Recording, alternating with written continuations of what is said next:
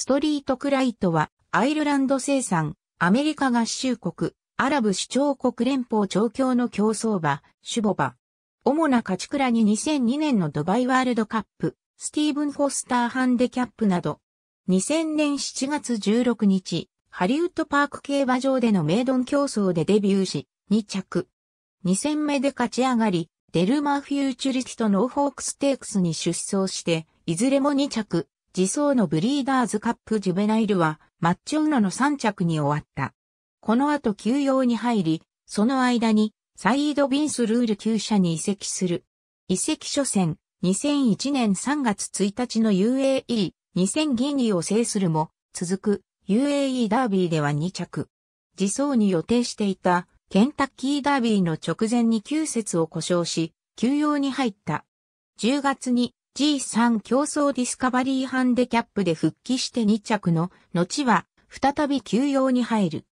2002年に入り、初戦の G にマクトゥームチャレンジラウンド3では2着、ステートシントに8馬身半差をつけて勝ち上がると、続くドバイワールドカップも勝って G1 競争初制覇を果たした。6月にはスティーブン・フォスターハンデキャップを制して G1 競争2勝目を挙げたが、続くホイットニーハンデキャップで2着となった後、再び玉節を痛めて、秋の目標としていたブリーダーズカップクラシックを断念してそのまま引退し、守護場入りとなった。以下の内容は、イーカブイス、レーシングポストの情報及び、記載法に基づく。2003年よりジョナベルファームで種ボバとして供用され、初年度3区のストリートセンスが2006年のブリーダーズカップジュベナイルを制して、エクリプス賞最優秀2歳ボバに選出される走りを見せ、新種ボバランキング、2歳馬ランキングでいずれも首位を獲得。翌年以降もストリートセンスがケンタッキーダービーに勝利したほか、ゼニアッタやウィンクスといった馬を送り出し、ステークスウィナーの数は84頭、G1 競争勝ち馬はそのうちの17頭を数えた。